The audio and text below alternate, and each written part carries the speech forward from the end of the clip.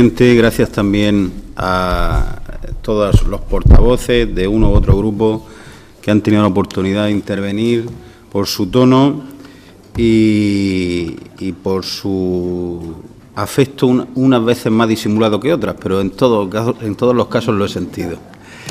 Eh, hay un detalle que creo que no debemos pasar por alto sobre todo en las intervenciones de los portavoces de los grupos de la oposición, tanto del Grupo de Izquierda Unida como del Grupo Socialista.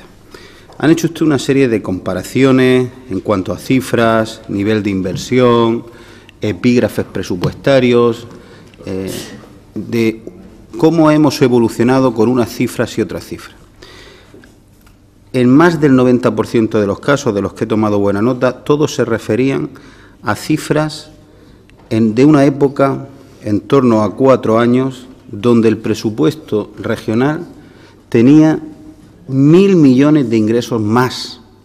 Mil millones de ingresos más. No es comparable en absoluto. Eh, lo puedo entender como técnica parlamentaria, pero fuera de ahí no es serio, ni riguroso, ni comprensible que comparen lo que no es comparable, magnitudes absolutamente distintas, escenarios distintos, circunstancias diferentes, porque han hablado de cifras de un presupuesto de la comunidad autónoma que tenía mil millones de euros más de ingresos. ¿Y cuál es el presupuesto que hoy se presenta para la Consejería de Educación, Universidad y Empleo? Pues y ahora ya hablo de, todo, de toda la evolución histórica del presupuesto de educación en esta, eh, comunidad autónoma, nunca antes, desde que esta comunidad ha asumido las competencias en educación, ha pesado tanto en la globalidad del presupuesto regional el porcentaje del presupuesto en educación. Eso sí es comparable. Sí es comparable porque nunca desde que asumimos las competencias de educación en, la región de Murcia, el peso de los proyectos, de los programas, el peso de la Consejería de Educación en el porcentaje del presupuesto regional ha sido tan alto. Pero digo más, sumo otro dato objetivo también, irrefutable a este argumento. Murcia hoy puede decir que es la comunidad autónoma de toda España que mayor porcentaje de sus presupuestos regionales destina a educación. Eso no lo puede decir ninguna de las otras 16 comunidades autónomas de España. Este Gobierno ha permitido, en una situación muy complicada, de la que todos somos conscientes, que los esfuerzos se dirijan a otros ámbitos y que educación pueda presentar como prioridad política, como prioridad social, el mayor presupuesto de la historia de la comunidad, porcentualmente, el mayor presupuesto de las comunidades autónomas en materia de educación de toda España para el siguiente año. Podremos discutir todo lo demás, en dónde, a qué, para qué empleamos los recursos, con qué objetivos, con qué calendario, con qué hoja de ruta, con qué nivel de diligencia, con qué eficacia en la gestión. Podemos discutir todo eso pero la base es distinta y sinceramente creo que este esfuerzo de los recursos públicos de los murcianos que el Gobierno tiene la responsabilidad de administrar se hace con un compromiso especial con los más débiles. Y eso nos permite que podamos decir que a pesar de estas circunstancias, repito, de las que todos somos conscientes, se incrementa un 50% las becas de comedor, se incrementa más de un 40% las becas, las becas para estudiantes universitarios. Se incrementan las inversiones, se concluyen las obras de remodelación de centros educativos en Lorca y se abordan nuevas inversiones. Y se gestionan además estas eh, nuevas líneas, eh, intensas líneas, gruesas líneas del presupuesto, se gestionan de una manera eh, desde la optimización, anunciando también repita, permítanme que, repita el anuncio de eh, nuevos sistemas de gestión, por ejemplo, en el ámbito de las becas, que garantizan una mejor, más transparente y ágil eh, gestión de cara a los ciudadanos que solicitan las becas de cualquier tipo. Yo creo que ha sido una exposición la que he intentado hacer como miembro del Gobierno de compromiso, de transparencia, eh, de nivel, y de hecho agradezco su paciencia porque la intervención ha superado una hora, como me ha recordado amablemente el presidente de la comisión, eh, en el convencimiento de, la utilidad en el trabajo de esta comisión, pero sin embargo eh, creo que debiéramos aplicar un poco más de rigor en el análisis y en las comparativas. Creo que es un presupuesto que nos tiene que, si no autocomplacernos, porque la autocomplacencia más que peligrosa es eh, estéril, pero sí animarnos y evidenciar un compromiso del Gobierno con la educación, con el empleo, con el sistema universitario. Sobre todo, repito, en una época muy complicada y donde vecinos de otras comunidades autónomas no lo hacen. Es que se evidencia el compromiso de la región de Murcia. Cuando hablamos de bilingüismo, desde ahora abordaré con más detalle, o la formación profesional en general y en particular la formación profesional dual, con más recursos, con nuevos programas, con más novedades, con esa estrategia regional en favor del bilingüismo y el pluribilingüismo, con ese plan de apoyo a la FP dual. Eh, yo creo que son acciones concretas, anuncios concretos, compromisos concretos, que además todos ellos han parado en unas cifras, con unas consignaciones en un calendario para poder abordar en los próximos meses con eh, la intensidad que esas cuestiones merecen. Eh, han hecho una referencia a la formación del profesorado del bilingüismo. Estamos definiendo eh, una estrategia regional de apoyo al bilingüismo. Señora Moreno, yo coincido con usted, en muchas cosas, en, esta, en su preocupación, no en su análisis, pero sí en su preocupación. Es cierto que esta región en los últimos años ha avanzado mucho en bilingüismo, tanto que ahora nos permite abrir una segunda etapa que es hablar de calidad y de mejora de niveles en esa calidad. Pero si no hubiéramos avanzado eh, como lo hemos hecho hasta ahora, estaríamos en un estadio inferior en ese apoyo al bilingüismo. Afortunadamente, como se han hecho esfuerzos, se han conseguido y alcanzado logros, hoy podemos hablar de la calidad eh, y abrir ese debate. Y por eso nosotros queremos hacer una estrategia regional contundente, participativa y consensuada.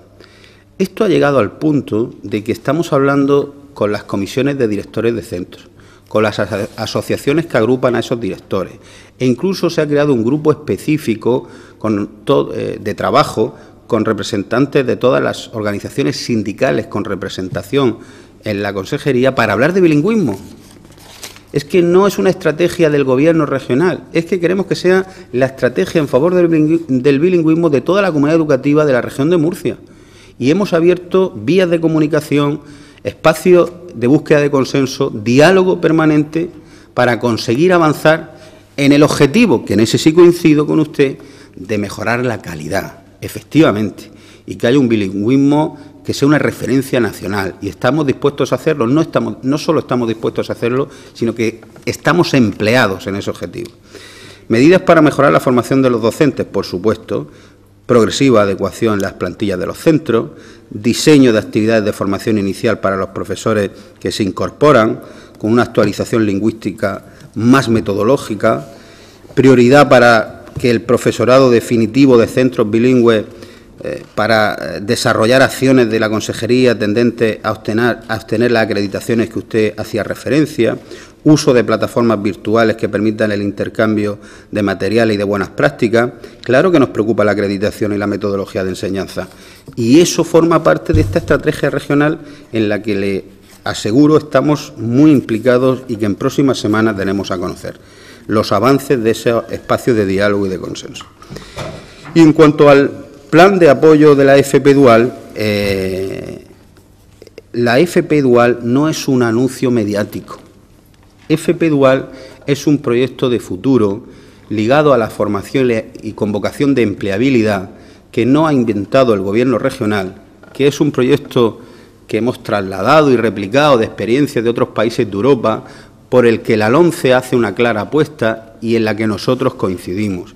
Y va a significar, por ejemplo, que para el próximo año dupliquemos, insisto, dupliquemos la oferta de formación profesional dual, donde ya están colaborando 80 empresas, donde para el próximo curso nuestro compromiso es que al menos sean 200 las empresas que colaboren en la implementación de programas de formación profesional dual, programación mixta, centros, en centros educativos y en, en espacios de trabajo, en, en, los, en las sedes empresariales de esas organizaciones, porque creemos, insisto, que es una experiencia de éxito que tenemos que hacer permeable al sistema, en el sistema educativo de la región de Murcia. Para gastos de funcionamiento y, y, su preocupación, eh, la mayoría de cuestiones han sido cuestiones en las coincidentes en los dos grupos de la oposición y voy a contestar eh, en ese sentido. Eh, los equipos directivos de los centros docentes de la región de Murcia hacen una labor extraordinaria. En épocas de bonanza y en épocas de atenazadas por una crisis económica que a nadie ya hay que explicar. Han sabido administrar en todas las situaciones, han sabido invertir en prudencia y eso ha hecho que, por ejemplo, al 31 de diciembre del año pasado eh, había más de 6 millones de euros en las cuentas de los centros educativos de la región. No hay que generalizar eso. Por supuesto que habrá centros en los que falte dinero, porque habrán tenido que hacer una inversión extraordinaria, porque se les puede haber disparado algún gasto como en el energético, porque han asumido eh, dentro de su tarea alguna inversión de ese tipo. Sí, es posible, es posible. Pero están gestionando muy bien. Es cierto que reciben menos dinero. Es cierto que, como todos en esta sociedad, y las cuentas públicas son un reflejo de la sociedad, todos est estamos en un escenario económico mucho más complicado y los centros educativos también, pero están haciendo una buena gestión. Estoy defendiendo no la gestión de la consejería, estoy defendiendo la gestión de los recursos eh, que la consejería transfiere a los centros educativos. Y es cierto que en los años anteriores eh, no han recibido todo el dinero que estaba presupuestado y que se esperaba. Eso también es cierto como también cierto es que a día de hoy, de la cantidad presupuestada para este curso, han recibido ya el 80%. Estamos en noviembre y que hayan recibido en sus cuentas el 80% de la cantidad prevista para este curso, hombre, por, permítame que lo califique de una buena noticia, incluso de normalidad. No creo que sea nada extraordinario y que llame la atención. Yo creo que estamos cumpliendo lo pactado con alguna semana de retraso, porque dice, es que tenía que estar el último pago del 80% en septiembre. Estamos a principios de noviembre, estamos hablando de unas semanas. Lo importante es que está ingresado y que eso va a contribuir a que puedan seguir gestionando de una forma óptima, responsable, eficiente. Insisto, mm, con mucho eh, merecen que se les felicite. Nosotros vamos a seguir eh, apoyando y aportando en la medida de las posibilidades esos ingresos y esas transferencias. Eh, y, realmente yo creo que ellos son, muy conscientes del esfuerzo que todos hacemos. El plan de eficiencia energética que yo he anunciado en mi primera intervención tiene que ver mucho con esto. ¿Por qué? Porque entendemos que hay gastos que se pueden reducir, pero necesitan inversión. Eso ya no depende de los equipos directivos de los centros. Y por eso vamos a poner en marcha un plan de inversión en favor de la eficiencia energética que permita la reducción de los consumos. Los primeros estudios nos han, indicado que podemos llegar hasta el 20% al menos de reducción de esos consumos, con el compromiso de que ese ahorro se quedaría en el centro para programas de, nuevos programas de centro educativo o para incrementar la transferencia de gasto corriente de esos centros. Por tanto, no solo mm, nos quedemos en, la transferencia corriente, es que estamos arbitrando nuevas líneas, nuevas fórmulas de colaboración, planteamientos como este Plan Regional de Eficiencia Energética en centros educativos que permita liberar recursos para que los centros puedan aumentar la disponibilidad eh, de tesorería y de eh, medios económicos. Eh, por otra parte, hablando de en cuanto a, las, becas que he citado alguna, algún dato, permítame, eh, eh, hablaban de, posible bajada, de posible incremento. sorteaban cifras. Bueno, se ha quedado claro, yo creo que eh, todos podemos coincidir en, el importante aumento en el número de becas, de recursos en una época muy difícil, con unos presupuestos públicos muy complicados, e incluso no solo estamos atendiendo los compromisos regionales, sino que efectivamente, ante una previsión de que otras aportaciones a nivel nacional puedan eh, disminuir, nosotros igualamos y llegamos a eh, incrementar la aportación para becas con recursos propios de la comunidad autónoma. En cuanto a los Erasmus, no se suprimen para el próximo curso, este, se modifican los criterios, estaremos atentos a esa modificación de criterios, pero en cualquier caso, el compromiso del Gobierno regional y del Grupo Popular, que, escuché ayer alguna manifestación, eh, es de que ningún estudiante eh, pueda dejar de ser un estudiante Erasmus y perder la oportunidad de formación que le proporciona la movilidad internacional, porque pertenezca a una familia con escasos recursos y no pueda eh, financiar esa movilidad internacional y su formación internacional. Contundentemente lo digo aquí en la Asamblea como miembro de un Gobierno que tiene en eso una eh, posición clarísima y sólida haremos lo que haya que hacer para que eh, la igualdad de oportunidades sea real también en ese ámbito. Eh, puedo seguir dándole datos de la formación profesional dual, de la evolución, de la evolución en número de ciclos, en número de plazas, en la ampliación de la oferta, en el número de alumnos, de empresas colaboradoras. Si tiene interés, yo puedo facilitarle eh, como estamos haciendo con toda la información que solicita, pues todos estos datos, porque son eh, muy esclarecedores. Y en cuanto a la eliminación del programa PROA, que hacían también referencia ambos portavoces, aunque haya desaparecido este programa de cooperación territorial, tenemos que la intención, como se ha dicho, de seguir atendiendo al alumnado con dificultad de aprendizaje que se incorpora al sistema educativo en una situación, llamémosle, de desventaja asociada al entorno sociocultural desfavorable al que pertenece. Para eso ofrecemos a los centros, eh, a los centros de recursos, a los centros, perdón, recursos que les permitan establecer nuevos procedimientos de organización y funcionamiento para mejorar esa situación. ¿Qué quiere decir? Eh, creemos en la, autogestión de los centros en muchos aspectos y creemos que aquí también hay que avanzar en ese sentido y vamos a dotar a los centros de ayuda, de líneas de colaboración, para que aquellos centros con unas necesidades especiales también tengan una atención especial. Eh, no, desarrollamos únicamente este programa, eh, también se apoya en programas de diversificación curricular, en programas de programación de apoyo, refuerzo y desdobles en materias instrumentales, como usted sabe, posibilidad de flexibilizar la permanencia del, alumno en las diferentes etapas, programas de refuerzo curricular, programas específicos de español para extranjeros, el programa de refuerzo de instrumental básico en primaria y proyectos singulares, son más acciones en este mismo camino. En cualquier caso, ya le digo que con recursos propios mantendremos esa atención en una colaboración muy estrecha con los centros, porque efectivamente hay que seguir atajando el abandono educativo temprano.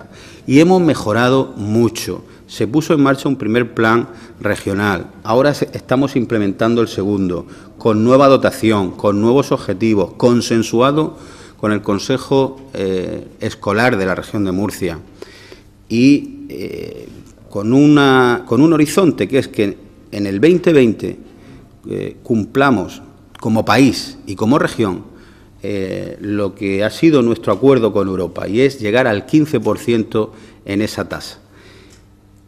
¿Y cómo estamos? ¿Y de dónde venimos? Pues ya sabemos dónde queremos llegar, al 15%. Pero es que en el año 2007 el abandono educativo temprano en la Unión Europea era del 15% en el año 2007, en España del 32% y en Murcia del 38%, el tercero peor de todo nuestro país. Y en el año 2012, en Europa sigue siendo en torno al 15, en España del 32 ha bajado al 25 y en Murcia del 38 ha bajado al 27. Esto no es una casualidad. Esto es gracias al esfuerzo, a la programación, a los recursos, a la sensibilización, a la sensibilización de toda la comunidad educativa en cuanto a un objetivo clarísimo, que era reducir las tasas, el porcentaje de abandono educativo temprano.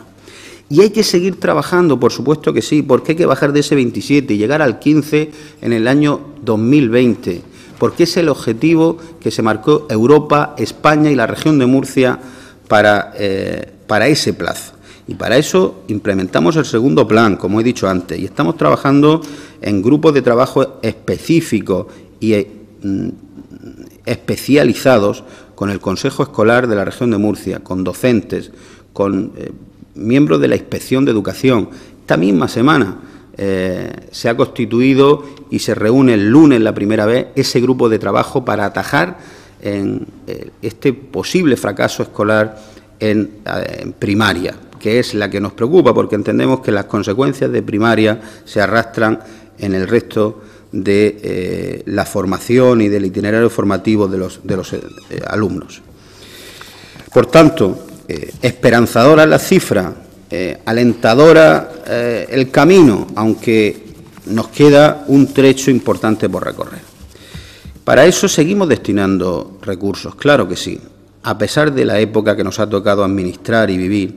¿Cómo habla de menos profesores? Mire, el número de profesores en este curso, en infantil y primaria, son 10.180, teniendo en cuenta que hay menos alumnos de educación infantil. Pero es que en el resto de cuerpos son 7.666, 150 más, porque hay más alumnos en enseñanzas post obligatorias. Con la modificación del horario de trabajo de los docentes, que eso, como sabe, afecta a todas las comunidades, todos los centros de la región cuentan con más horas de dedicación del profesorado a alumnos, también a las familias, pero desde luego, le insisto, este curso no se han tomado medidas extraordinarias este curso no se han tomado medidas extraordinarias y se han contratado 150 docentes más en el resto de cuerpos que yo le, hablaba.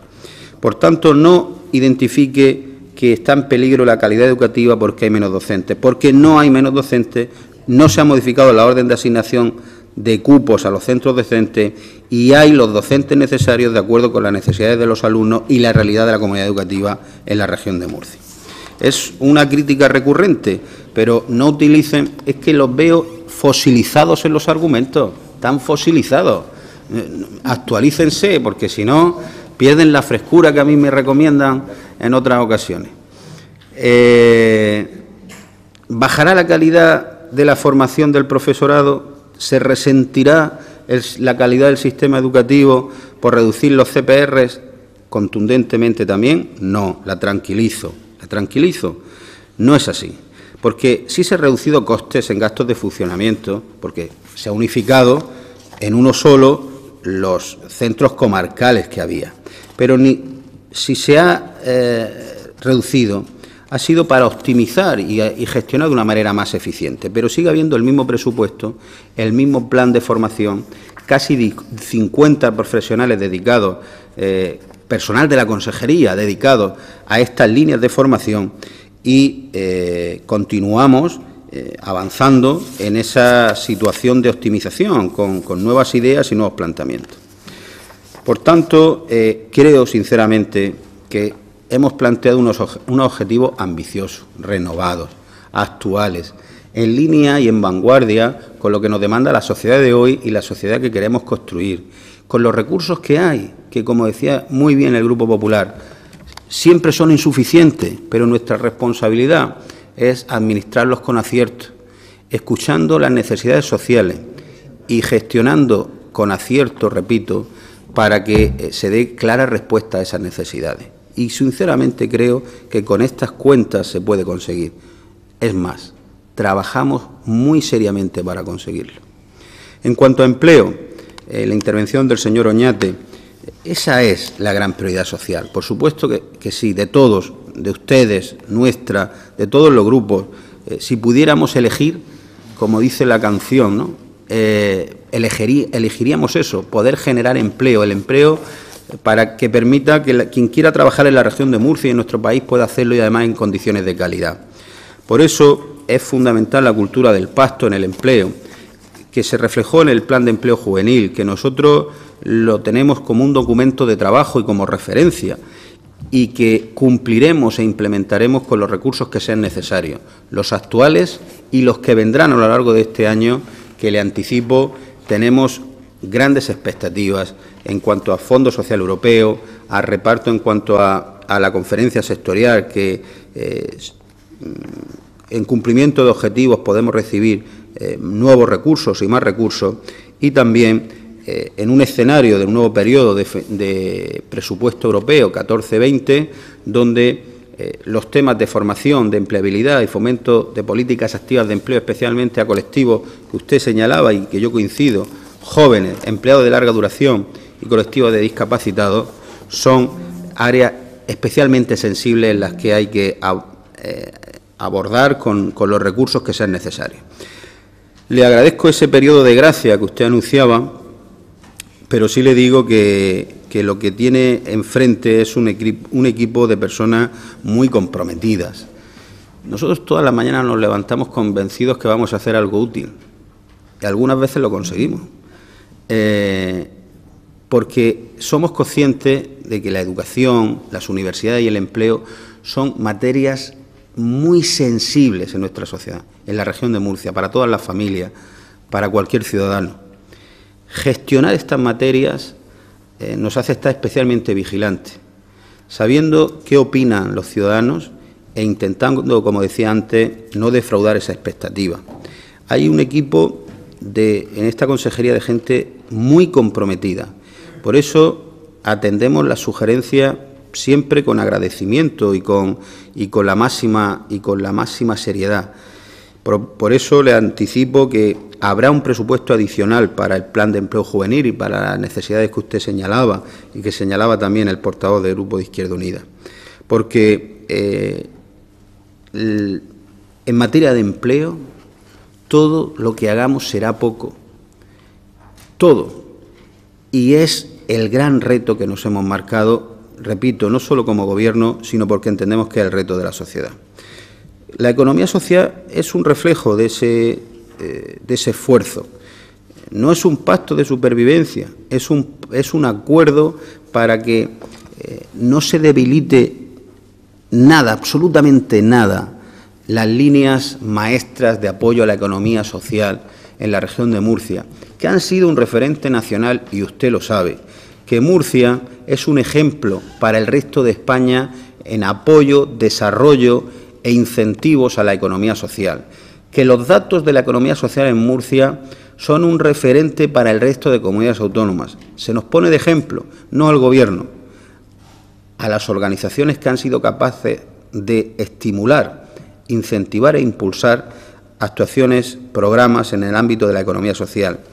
Que se ha cumplido este pacto y se sigue cumpliendo con estos presupuestos, pero no solo eh, pretendemos el cumplimiento de lo acordado y firmado, sino que además se ponen en marcha nuevas actuaciones, como una nueva línea de subvenciones, que yo eh, también he hecho referencia en la primera intervención, para eh, ayudar en los gastos de constitución de las nuevas cooperativas, que unido al cambio de legislación que permite la constitución de cooperativas por dos, eh, por dos personas, hace que Murcia sea la comunidad con un escenario más favorable para la creación de cooperativas. Y estoy convencido que eso tendrá un reflejo real y objetivo en los próximos meses. Crean empleo, mantienen el empleo, es la cara más social de la economía, el cooperativismo, la economía social. Creemos en ella, la apoyamos, cumplimos lo pactado y se refleja en los presupuestos. Esto debe al menos alegrarle. En cuanto al plan de empleo juvenil, eh, pues es un programa para este próximo ejercicio eh, completo, ambicioso, variado, imaginativo, que le puedo eh, relacionar el programa mixto de empleo-formación, dotado con más de dos millones de euros, fomento de contratos en prácticas, ayuda al establecimiento de jóvenes autónomos, fomento de la contratación indefinida, el bono empleo joven, formación para jóvenes con baja cualificación, programa para emprendedores. Cada uno de estos epígrafes lleva eh, su correspondiente cifra, que llega hasta los 76 millones de euros. Para la ejecución de un plan de empleo juvenil en la región de Murcia ambicioso, contundente y que responde a, los trabajos que se hicieron de una forma acertada en esta Asamblea. Puedo seguir leyéndole actuaciones, pero eh, yo creo que mejor que eso es eh, asegurarme de que tengan una información fluida eh, de la evolución de estos epígrafes, las convocatorias, los objetivos alcanzados y que mantengamos espíritu de trabajo en común con un objetivo claro como es la creación de empleo en colectivos especialmente vulnerables como son los jóvenes en la región de Murcia. Igual que para parados, mm, parados mayores o de larga duración pondremos en marcha iniciativas para generar empleo en personas de más de 30 años y para parados de larga duración con varias líneas como el establecimiento de, trabajadores por cuenta propia como autónomos, que se destinará más de 7 millones y medio, una cifra nunca antes destinada en esta, para esta finalidad, programas formativos específicos para parados de larga duración, talleres de empleo vinculados a esa certificación de profesionalidad a la que antes hacíamos referencia y también intensificaremos las actuaciones de información, asesoramiento, orientación para estos colectivos a través de un cuerpo de asesores personales de empleo especializados y específicos para este colectivo. Por tanto, ahí también vamos a continuar intensificando eh, un recorrido que yo creo que es fundamental. Cuanto a los temas de universidad, la señora Clavero eh, ha, empezado la intervención con una frase que ha notado. Estos presupuestos son un atentado contra las universidades públicas. Cuanto menos, señora Clavero, creo que es excesiva, desproporcionada y, por supuesto, irreal. Nosotros no desprestigiamos a las universidades públicas. Es más, estoy convencido que ningún diputado de esta Asamblea lo hace. Estoy convencido de eso. ¿Qué nos distingue a nosotros? Que en lugar de anunciar frases desproporcionadas, normalmente eh, eh, eso suele ser como el sonido del cántaro, ¿no? que suena fuerte pero porque está hueco.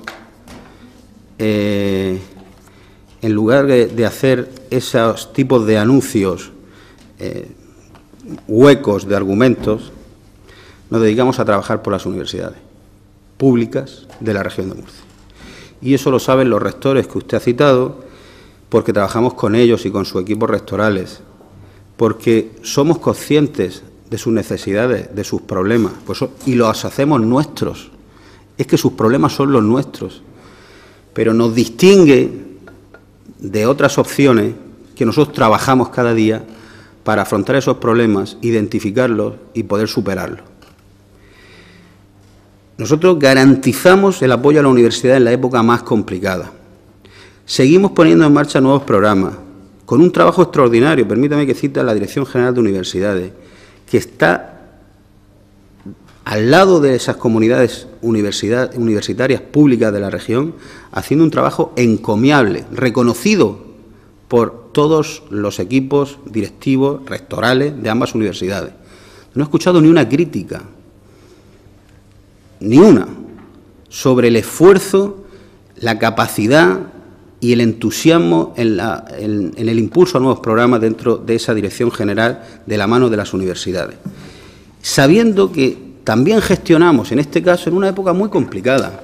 Por eso pagamos, cumplimos el plan de pagos, llegan las transferencias a las universidades, porque no nos valdría de nada poner aquí unas cantidades como hacen en otras administraciones regionales y comunidades autónomas que se han citado aquí y no cumplirlas y llegar a deudas de varios cientos de millones de euros.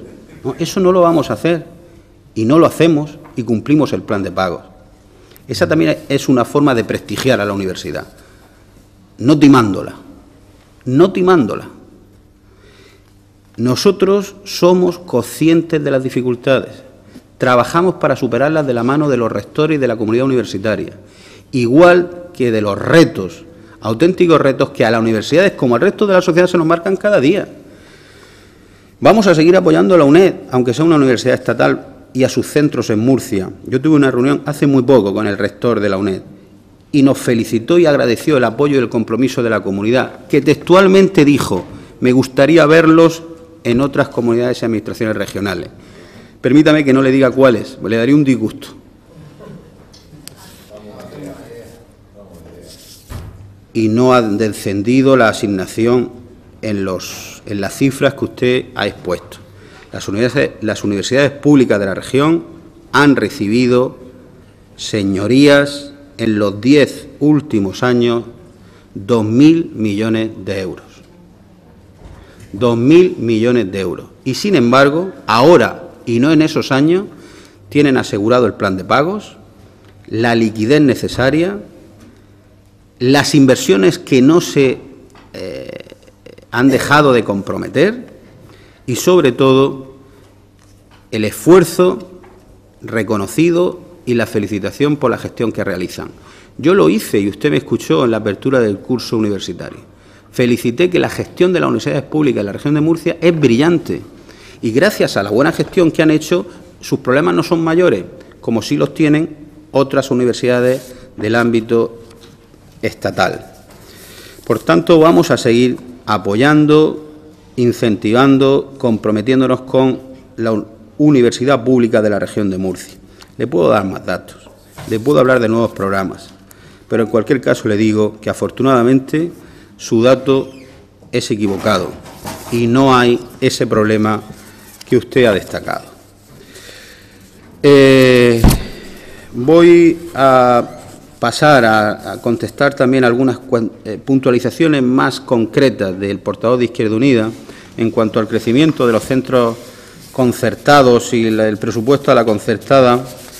Eh, esto me recuerda a una manifestación reciente que se produjo en España en el ámbito educativo, donde en la misma manifestación había personas que defendían modelos educativos rotundamente distintos.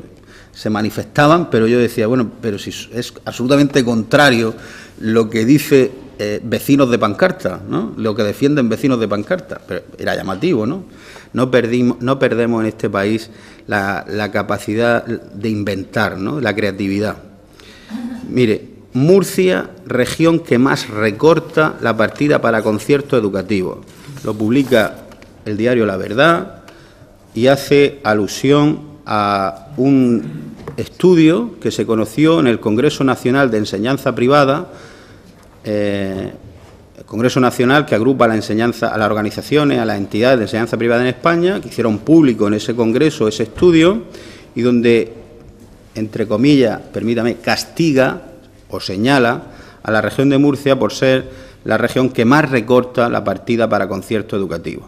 Baja un 11% según datos presentados en ese Congreso. La región es la sexta autonomía con menor porcentaje de alumnos en concertado.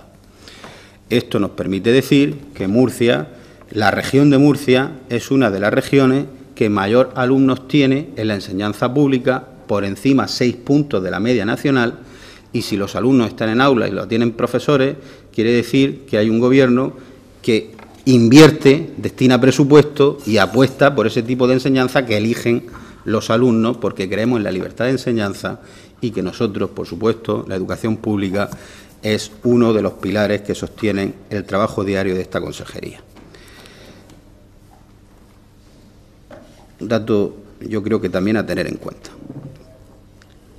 Pero, sin embargo, es cierto que puede haber algún baile de cifra en el sentido de que puede aparecer un crecimiento en el crédito inicial del año pasado y el crédito inicial del siguiente año.